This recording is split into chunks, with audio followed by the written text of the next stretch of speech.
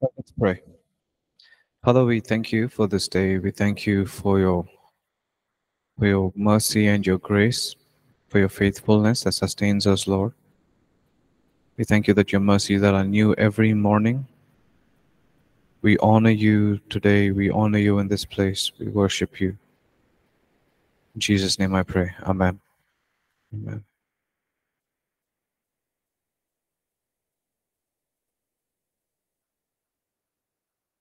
Okay.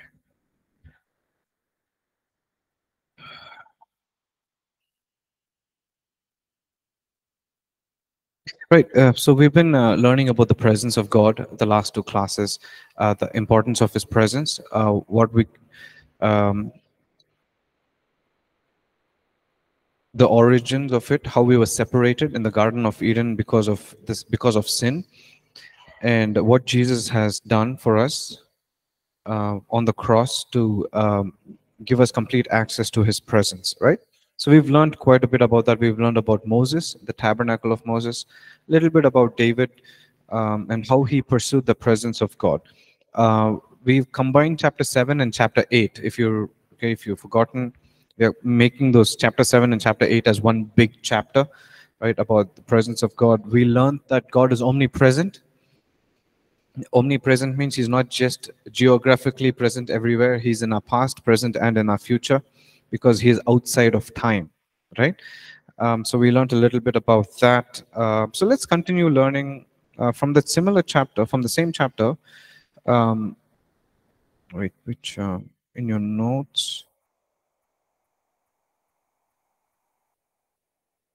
Look at the section where Jesus Christ is the perfect sacrifice from chapter 8. Jesus Christ, the perfect sacrifice. Okay, so in the tabernacle of Moses, we learned that there are there is the outer courts, the inner courts, and the what's the final section in the tabernacle of Moses? Holy of Holies, yeah, the most holy place, also known, right? Right. So there's the outer courts um, where there can be hundreds of people, and the inner courts or the holy place will will have only just a few, ten or twelve space for that, right? So you can praise God in a crowd. You can serve him with a group of people right? But you can only worship him face to face right? So we learned that. And but in the new covenant we look at a few scriptures and see how god has made a way for us okay? Hebrews chapter 9 i'm just reading all the scriptures from your notes okay? It's in your notes already. Hebrews chapter 9 verse 9 and verse 11 and 12 uh, it was symbolic for the present time in which both gifts and sacrifices are offered which cannot make him who performed the service perfect in regard to the conscience. But Christ came as high priest of the good things to come with the greater and more perfect tabernacle not made with hands that is not of his creation not with the blood of goats and calves, but with his own blood, he entered the Holy of Holies once and for all, having obtained eternal redemption. Okay, look at that verse 11. It starts off by saying, But Christ came as as high priest. Okay, and then you come down to verse 12, it says, Not with blood of goats or calves, but with his own blood. So, once again, last class we learned that Jesus is not only our sacrifice, he is also our high priest. He is not just our offering, he is also the offerer. Yeah, okay. So he's a perfect sacrifice, Jesus Christ. Um, and with his own blood, he entered the most holy place once for all, having obtained eternal redemption eternal. There's no more sacrifice that is needed for us to make way into the Holy of Holies. Jesus has made a way once and for all. Are you with me? Right? Okay, let's read some more scriptures. Hebrews 10, 11, 12. And every priest stands ministering daily and offering repeatedly the same sacrifices, which can never take away sins Right? What did we learn until Jesus came? Everything that was done until Jesus came was it was a covering. Isn't it? It was a sacrifice that would cover the sins.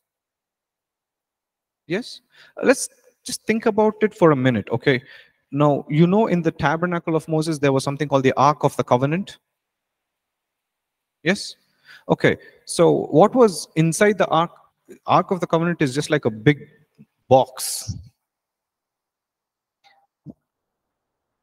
The inside the Ark of the Covenant, there was the tablets. That's the 10 tablets means not dolo. okay. What? The 10 commandments, right? That was written. It was inside that. And what else was inside that? No, no. So good. In, I'm talking inside the Ark of the Covenant.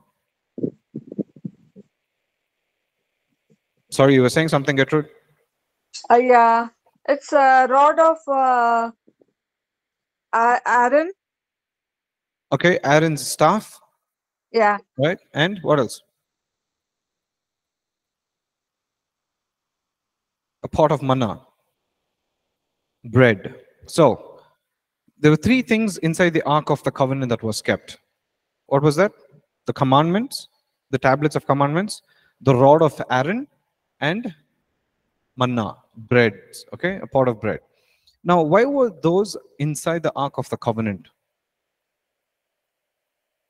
Now, the root meaning for Ark, I'm getting a little sidetracked. I'm being tempted to go a little deep, but I don't want to because uh, it'll be like I'm going down a rabbit hole. But basically, all of these three things symbolizes something. Ten commandments. The first commandment Israel's broke. What's the first commandment? What is love the first commandment? God, love your God with all your heart. No, thou shalt have no other gods before you. That's the first commandment. Okay. So what did they do? They broke that first commandment by making an idol, right? So they broke that. They sinned. So why is Aaron's staff inside? When Moses, when God said, okay, Aaron shall be the leader, the people of Israel or some of the leaders of Israel said, why should we follow you? Why should you be our leader? So in that when they did that, they were rejecting God's leadership. Are you with me? They were rejecting God's leadership. They were they sinned by disobeying or questioning. Are you with me? And then why is manna inside the ark? Is they again despised the provision of the Lord. They grumbled, they murmured, they were not thankful for- what God provided for them. Are you with me? So all of these supernatural thing that what God was doing, people of Israel rejected. And so God tells Moses, put all of that inside that. And and then cover it with a layer of the mercy seat. So on top of the inside the Ark of the Covenant, all of these three things were there. And then there was like a plain sheet like this. And then there were two cherubims, isn't it? One cherubim was facing the other, the other cherubim on this side, isn't it? And with the wings held up high, they were looking down. Okay, so the cherubims are the archangels in a, in certain way, right? Um, they were almost like the eyes of God. Okay, so that means every time they were looking down, they were reminded of the sins of people of people. Are you with me? Every time they were looking down, they were reminded they dis- they rejected me as their leader or their shepherd. They had another god instead of me. They rejected. Uh, they were not grateful for my provision. So, in God's eyes, He is always looking at the sin of Israel. Are you with me? So once a year, on the day of atonement, the high priest would go inside and put the blood of a goat or calves on the mercy seat. Yes? And so now that is like a covering of the sin. That would buy them mercy for another year. Are you with me? So that, that was just a covering of the sin. Until Jesus came, where John the Baptist says, Behold, the Lamb of God who takes away. So there was no more covering required because Jesus took it all away. Are you with me? Yeah. So uh, that's what's being uh, presented here in the Hebrews as well. And every priest stands ministering daily and offering repeatedly the same sacrifices which can never take away sins. But this man, after he had offered one sacrifice for sins forever, sat down at the right hand of God. And so, because of what Jesus did, you and me, you and I have unlimited access. Say unlimited. Yeah. Have you gone to an unlimited buffet? Very happy, you know? Unlimited buffet means like, oh, bindas. Eat limitless. What is a bottomless? Something like that is there, no? you can drink how much ever you want. But because of what Jesus has done, right? Because of the sacrifice, because of what he did for us, for you and for me, you and I have unlimited access to his presence. Unlimited access to the presence of God. He says, Come boldly to the throne of grace. But that is not enough. Most of us as Christians, we are very happy to be the outer court Christians. Like, yes, I met Jesus as my Savior at the cross. That is enough for me. more than happy. I'm more very happy in the outer courts. Fresh air is there. I don't want to go all the way to the Holy of Holies. It's too much trouble. We are very satisfied in the outer courts. We don't want to go all the way to the Holy of Holies, where Jesus has made a way. The veil has been torn. You with me? Right? Okay, let's read some more scriptures uh, Hebrews 10 19 to 22. It says, Therefore, brethren, having boldness to enter the holiest by the blood of, by the blood of what? Jesus, by a new and living way which he consecrated for us through the veil that is his flesh. And having a high priest over the house of God, let us draw near with a true heart in full assurance of faith, having our hearts sprinkled from an evil conscience and our bodies washed with pure water. Right? So, what we are encouraged, and what I want to encourage us this morning is just like how the high priest would draw near to the presence of God or to the Holy of Holies let us draw near. High priest only entered once a year. And, you know, the ancient culture of Jews, Hebrews says that the high priest would have a bell and a, a rope a, tied to his leg. That if the high priest that went entered in was sinful, in the presence of God, he would die. And so other people can't go in and to bring him out. So that rope was there to pull him out. Do you understand how dangerous that is? I don't seem don't think you all understand what was happening. Okay, it was quite yeah. So the high priest had to be uh, had to have lived a holy life, a consecrated life. In the new covenant, Bible calls you and me as a royal priesthood. Are you with me? But yet there is a grace and mercy. There's an invitation. It says, boldly come. Come boldly. Because of the blood of Jesus. Yes?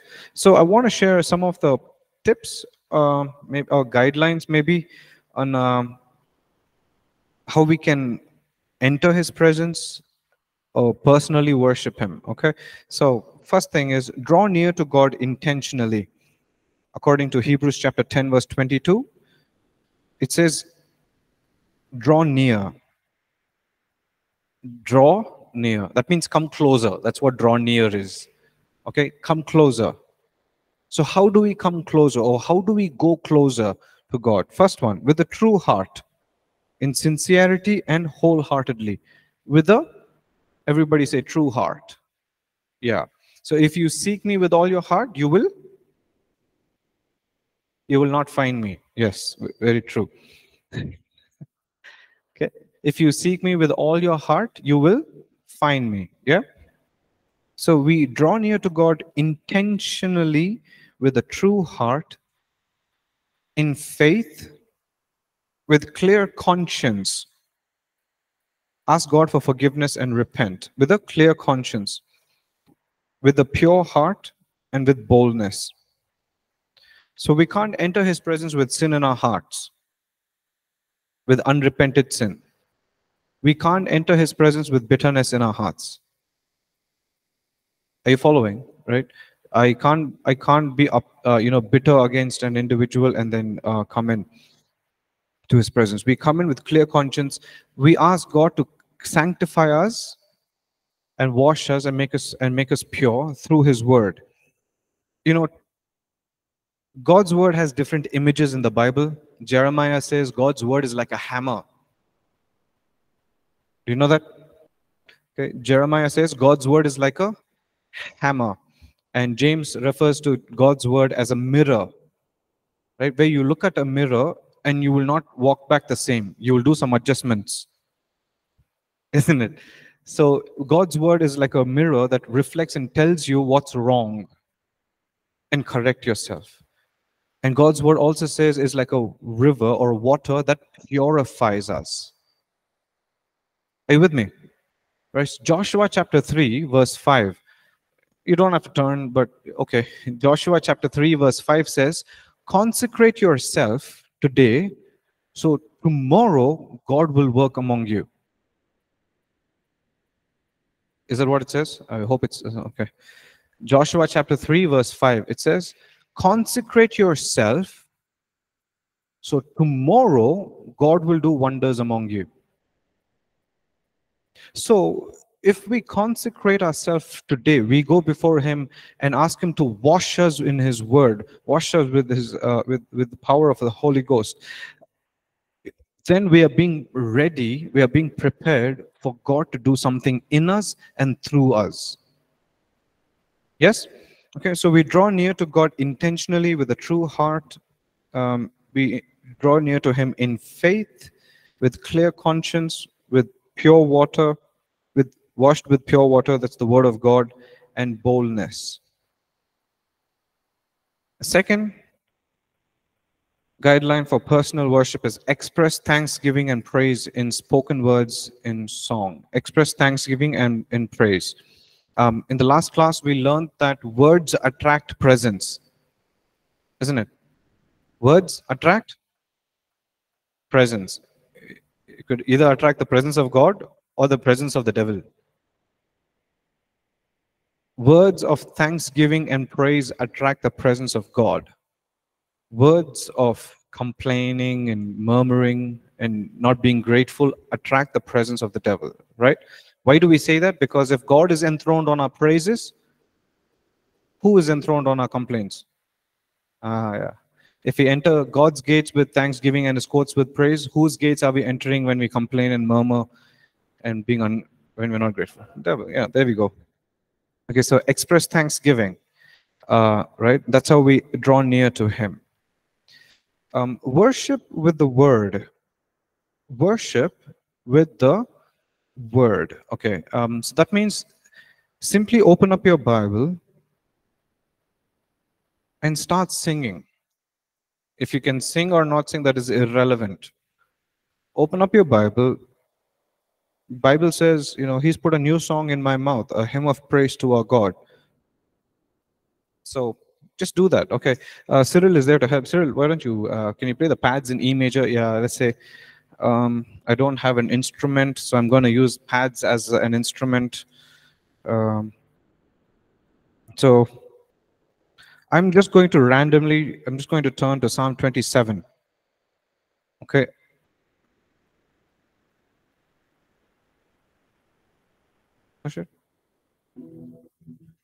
Okay, I'm just using that as an instrument because I don't have a guitar.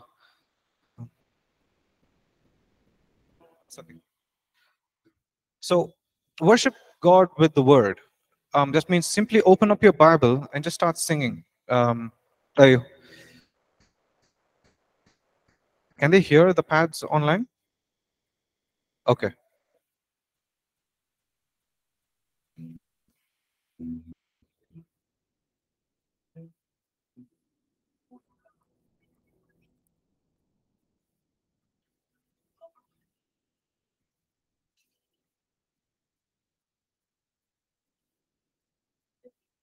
So um, something as a reference just to be on pitch. So I've just opened Psalm 27, um, and I'll just start singing. I'll try and sing only from verse one, maybe verse four. I don't know. So.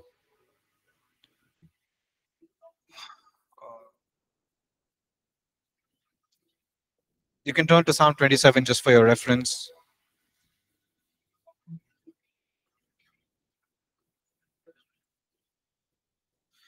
Okay. So it says, The Lord is my light and my salvation. Whom shall I fear? The Lord is the strength of my life. Whom shall I be afraid? Okay. Let's worship. Let's see. The Lord is my light and my salvation. Oh God, you shine.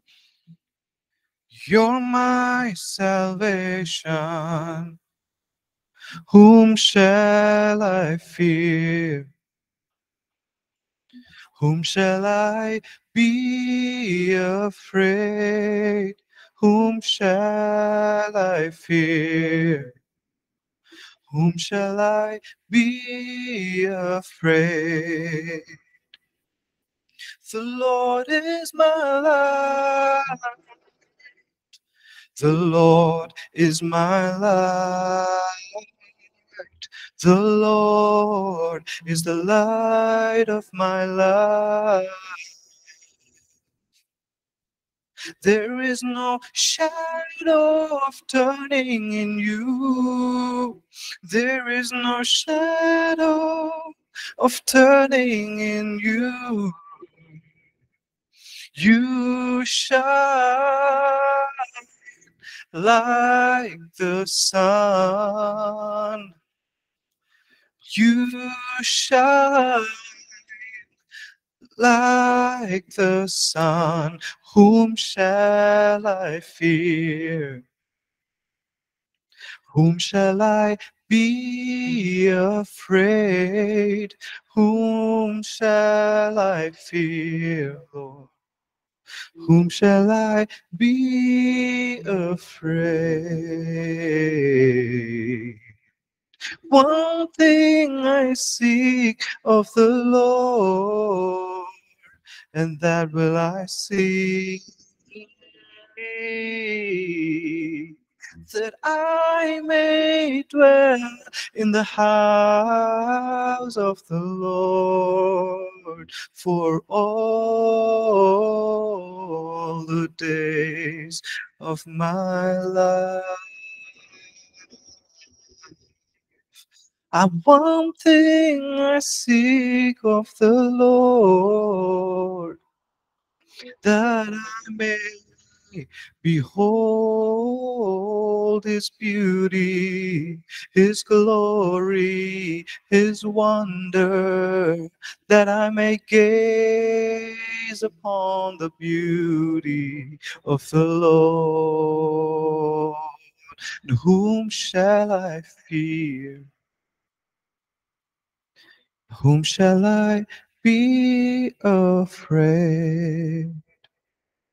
Okay, so that's just an example of how you can simply open up your Bible and sing and worship. Okay, thanks, Cyril.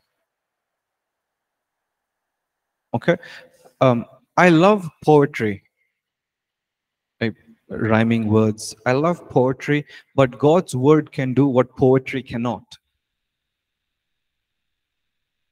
right? His word can do what poetry cannot. So if we simply open up our Bibles and just begin to sing and worship, we just sang one verse. Right? The Lord is the light of my life and my salvation. Whom shall I fear? Whom shall I be afraid of? And as you're singing, um, you begin to get other revelations of what light can do. Right? He shines like the you know like the sun. Uh, Revelations one says his face was shining like the sun in all its brilliance. That's what it says, right? Um, and uh, what it says, the Bible says that in his presence there is no shadow of turning. Heaven needs no sun because his the light of his face lights up all of heaven. You think heaven has a sun? Why does it need a sun? The glory of his presence is enough to light up all of heaven. Right? So as you begin to sing, the Holy Spirit will begin to reveal the different aspects of just, we were just singing one verse light. That's the first thing he said. Let there be light. Are you with me? So something powerful happens if you just open up your Bible, any language, and you just begin to sing. And you just say, okay, Holy Spirit, what does this passage sound like to you? How does this sound to you? Ask Him. And just start singing. Are you with me? Right? So, this is one of the ways in how you can uh, draw yourself closer to God, worship with God, worship with the Word, and praying and singing in tongues. It's connected to the previous point. Okay, praying and singing in tongues. Um, again, I would encourage you to do one of the best investments I made is 10 rupees. Uh, go to OM Books or you know ELS, buy Thousand Praises book. Okay, it's I'm sure it's available in Hindi as well. Um, it's there, right? Yeah. So I think it's 10 rupees. Maybe it's become 20 rupees now. 10. It's still 10? Okay. yeah. Um, yeah, you can get it for free on in, on the internet as well. Um, soak in it, right? Let those praises be in your heart. Be ready to praise. You know, when trouble comes, you might not have the Bible with you or the books with you. Let your heart be a library of books. Understanding? Let your heart be a library of books so that your, your spirit can tap into that and say it's ready to erupt in praise. Are you with me? Right. So those are the simple guidelines for personal worship. Draw near to God intentionally. Uh, intentional means you have to plan. Okay, you have to be intentional. Make up your mind and uh, express thanksgiving and praise. Uh, worship with the word. Pray and sing in tongues um, so I'll give you a little bit of secret of how I, I, if I'm spending time, if I have one hour, this is just an example. Uh, one hour has how many minutes? 60 minutes. So I will divide that into three sections, 20, 20, 20. Uh, for the first 20 minutes, I will read the word. Second 20 minutes, I will uh, just worship I will worship either, I, I will either listen to a worship music or I will worship by myself, uh, listen to songs um, or sing. And then the last 20 minutes, pray. Um, pray either pray in tongues is get more intentional pray in tongues uh, prayer requests. Right? Prayer requests. Um, yeah. So I would divide my personal time into these three things. If it is two hours, uh, everything will just become double, right? Yeah, 20 minutes will become 40 minutes, 40 minutes of word, 40 minutes of worship, 40 minutes of praying, praying in tongues. Um, this is a very simple thing. This is a short glimpse into how um, I approach one hour. Okay. Uh, very quickly, we look at what happens when we worship. Again, these are points that we've already gone through. Um, when we worship, when we personally praise God, God is enthroned on our praises, right? Um, praise causes divine deliverance. You're looking at your notes, right? It's there in your notes.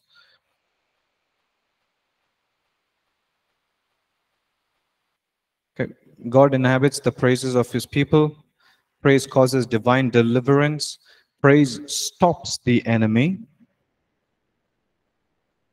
And finally, praise prepares our heart to receive from God. Praise prepares our heart to receive from God. Hosea chapter 10, verse 11, it simply says, Judah shall plow. Judah shall plow. Plowing is what? Is related with farming. Right? You plow the field, isn't it? You you make it ready, and then you put the seeds and you wait for the rain. So it says, Judah shall plow. It means with praise you prepare your heart. Judah means praise, right? When you prepare your heart with praise, you are making yourself ready to receive from God. Are you with me? Um, you know, when I was leading, when I was the youth pastor for four years, um, one of the things what um, young people come to me and said a lot was, uh, "How do I hear God? How do I hear God? Or you know, uh, how do I know this is the will of God in my life?" Yep. Um, Pastor, I read the Bible, but I don't understand anything pastor i uh, you know i i read the bible but i don't understand anything and then i don't remember anything this is the constant thing uh, you know i used to hear from uh, young people um, okay how many of you here remember what you had for breakfast two weeks ago on monday.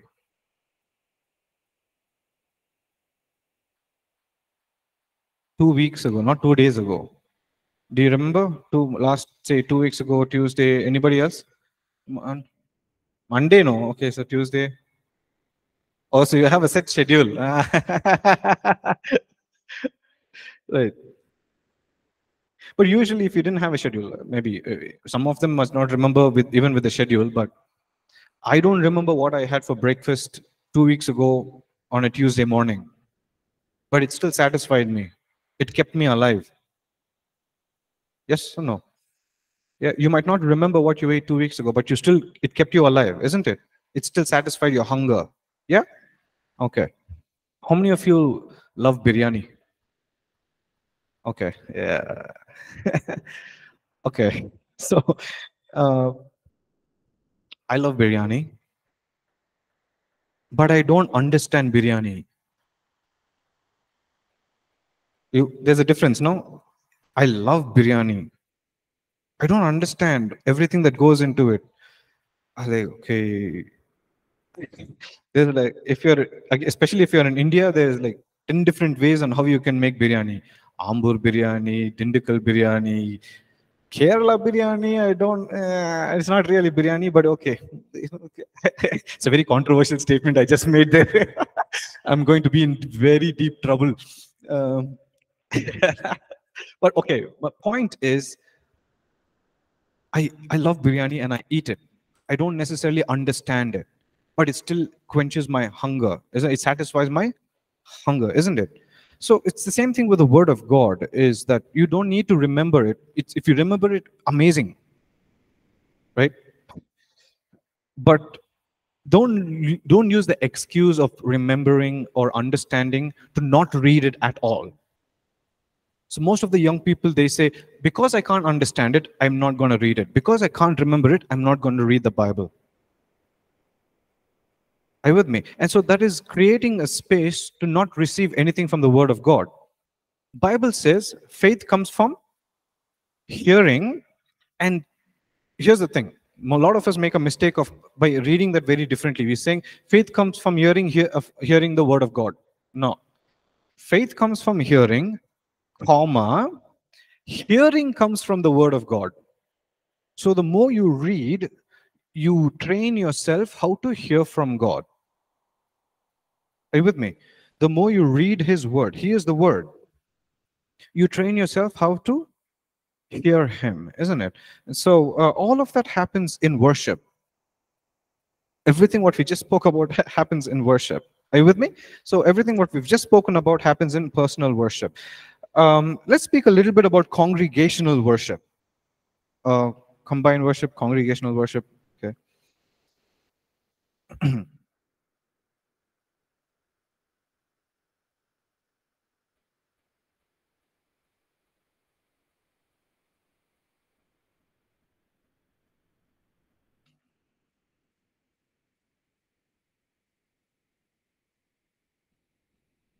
congregational worship or is the first point there is the vertical aspect of it.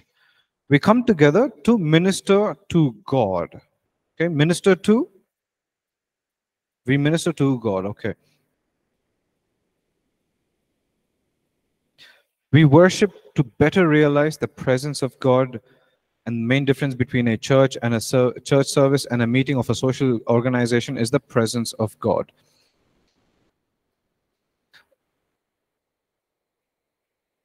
Um, okay, I don't know how many of us, I don't know if this is even going to work, but uh, let me risk it.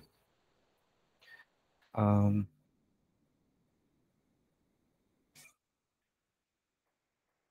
okay, this group, this guys, can you make a sound? Um, Cyril, can you play a C major? Sorry, Cyril. You can all sing. No, I want you to just hum a note. Okay? Can you hum a note? Yes? No?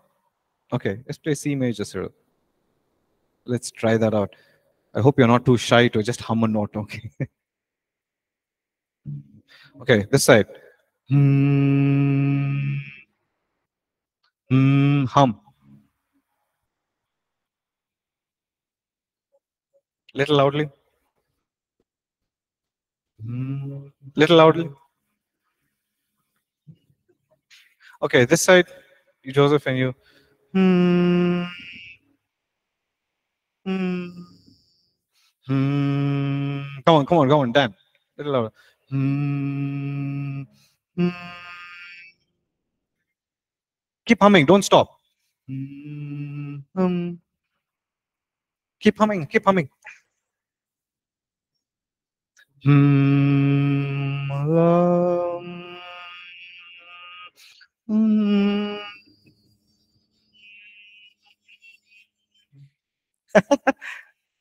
Okay, thank you. So that was just that was just an example of a C major chord. So you were singing a different note. You were singing the note C. You were singing a humming the note E, and I was humming the note G. So it's these three notes, three different notes or pitches come together to make one chord. That's a C major chord. But you see, we were singing different pitches or different notes, but we still sounded as one. Isn't it? And that's what a choir does, is choir has uh, sopranos, altos, tenors, bass, right? They are singing different notes, different harmony, but they still sound as as one, isn't it? And that's the significance of uh, corporate worship or congregational worship is we are all different individuals, different people from different backgrounds, people from different states. Yes, but we still come together. We are gathered together in the name of Jesus. And so when we come together in his name from all these different backgrounds and worship corporately, that becomes very powerful. Are you with me? Right? The unity in worship is very powerful. Uh, you know, we read in the Old Testament time and time that it says when they worshipped in one accord, when they worshipped in unity, when they lifted up their voice in, in as in one voice, God showed up. His glory would come down as a cloud and fill the temple. Are you with me? Right? And so um, in corporate worship, we minister to God. That's the vertical aspect of it. And when we come together in unity, that is the horizontal aspect, you know, is that we bless one another. Ephesians chapter 5 says, Sing to one another. Ephesians chapter 5, verse 18, 19, and 20 onwards, when you read it, it says, uh, Don't be filled with don't be drunk with wine but be filled with the spirit and sing to one another in psalms hymns and spiritual songs. So that's what happens in corporate worship is we are yes ministering to god first but at the same time we are encouraging one another. We are singing to one another. Right? We are building we are edifying one another. We, are you with me? Right? Psalm 133 psalm 133 says how wonderful how beautiful it is when men come together in unity. Right? It is like an oil that flows down Aaron's head, down his beard, all the way down his cloak. Okay, um, so as in, I'll probably I'll stop here. Uh, as a summary, as a conclusion of this chapter, we look. Let's look at that summary. In congregational worship, we minister to God. In corporate worship, it brings about a sense of unity within the church. The songs we sing as congregation enable us to learn, teach, and reinforce spiritual truth. Corporate worship prepares our hearts and provides the atmosphere for the preaching of the Word of God. It facilitates us to express the feelings of our heart in uninhibited worship. Okay, so we've spoken about the presence of God, we've spoken about uh, the personal worship and corporate worship and the power of it. All right? Well, that's about it for today then. I'll uh, stop here. Thank you for joining. Uh, Vicky, I see your questions. I'll answer it uh, in the chat section. All right. Thank you. God bless you guys.